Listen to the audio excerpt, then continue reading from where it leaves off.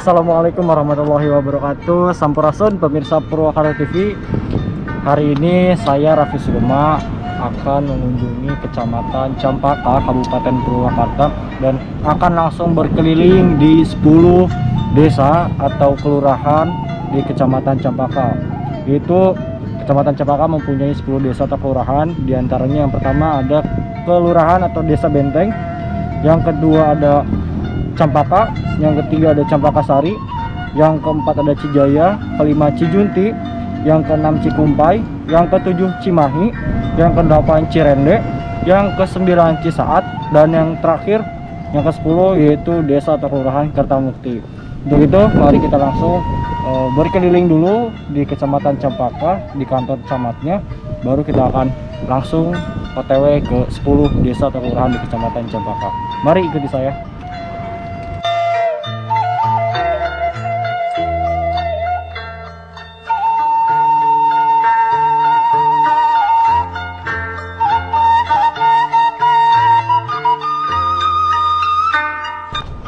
Pemirsa Purwakarta TV perlu diketahui bahwasannya bangunan khususnya di Kecamatan Capaka, Kabupaten Purwakarta ini bisa kita lihat terlihat megah, menarik dan hampir di seluruh kecamatan di Kabupaten Purwakarta, 17 kecamatan, gedung kecamatannya seperti ini bangunannya dengan ciri khas warna hitam putih dan ornamen eh, bendera merah putih sesuai dengan bulan kita, bulan kemerdekaan Republik Indonesia.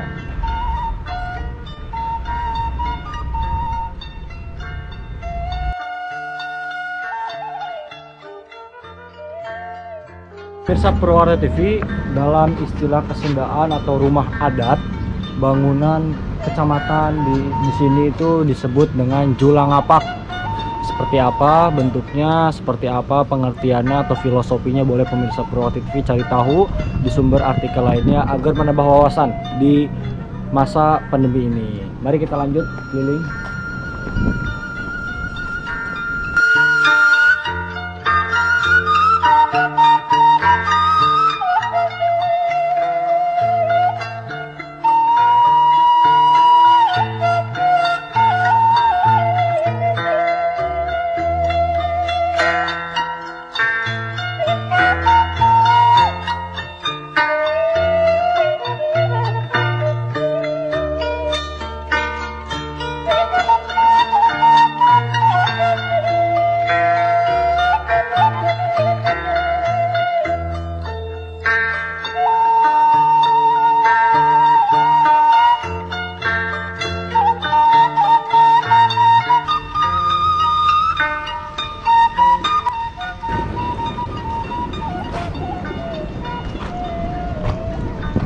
Iya pemirsa, Kecamatan Campaka saat ini berada di bawah pimpinan Bapak Ade Sumarna dan mempunyai slogan khusus yaitu Campaka Mas. Apa itu Campaka Mas? Yaitu Campaka Masyarakat Adil dan Sejahtera. Itu slogan di bawah kepemimpinan Bapak Ade Sumarna dan saat ini menjabat sebagai camat Kecamatan Campaka. Mari kita lanjut